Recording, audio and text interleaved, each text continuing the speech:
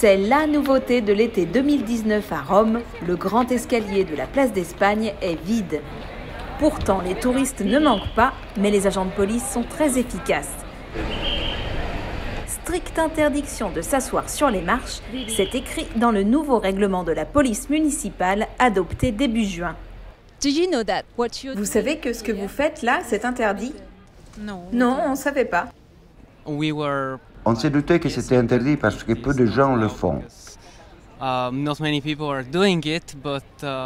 Mais étant donné que c'est écrit nulle part, on n'était pas sûr. La raison Éviter les pique-niques salissants, peu compatibles avec le marbre. La leçon de la restauration de 2015 a été retenue. Elle a coûté 1 700 000 euros, financée par le joaillier Bulgarie, alors que la dernière datait d'il y a seulement 20 ans. C'est notre deuxième jour à Rome. Et ce qu'on a constaté, c'est qu'il y a beaucoup de policiers dans les rues. Uh, Et pour cause, avec désormais près de 30 millions de touristes par an, Rome doit faire la guerre aux comportements inappropriés, comme se baigner dans les fontaines historiques. Les derniers à avoir essayé il y a quelques semaines encore ont écopé d'une amende de 450 euros. Faire dévaler sa valise à roulettes sur les sites touristiques accrocher un cadenas de l'amour sur un monument, se promener torse nu, et même la façon de boire aux fontaines est désormais réglementée.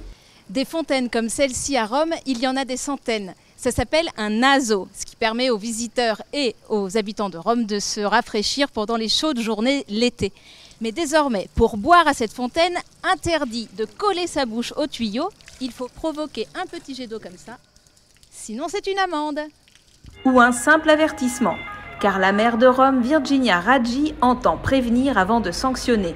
Mais en cas de grave infraction ou de récidive, la sanction peut aller jusqu'à l'exclusion du site de 48 heures à 60 jours, avec paiement immédiat de l'amende par carte de crédit.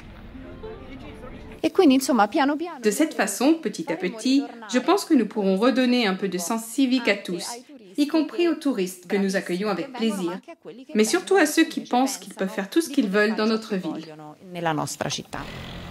Rassurez-vous, les touristes ne sont pas les seuls visés par ces mesures. Rome s'attaque aussi au commerce abusif.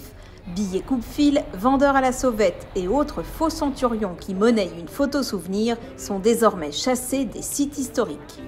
Ces nouvelles règles, la municipalité est en train de les transmettre aux ambassades, mais que cela ne vous dissuade pas de goûter au mythe romain, car bonne nouvelle, il est toujours permis de lancer une pièce dans la fontaine de Trévis.